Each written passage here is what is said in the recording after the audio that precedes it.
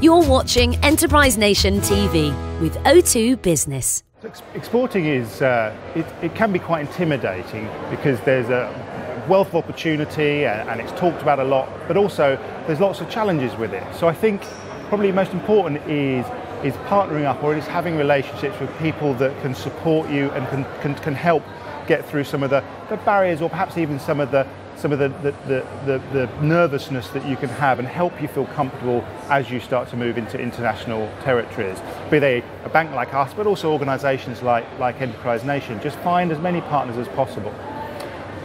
Secondly, I think don't always look at the, the furthest flung, more exotic and actually more talked about opportunities. Even with current sort of international sort of issues as they are, there's lots of opportunities on our doorstep. So don't forget those that are closest to home as well as the more further flung. So I, I think that's a, good way of doing it because it actually allows you to step, put your toe into the international water without huge expense.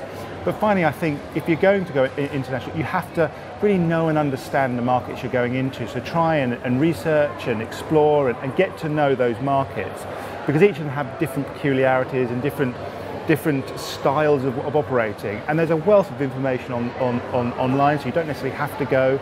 If you can go, so much the better. But really make sure you understand the market and how it differs from other markets that are out there. So I think probably partnerships are important.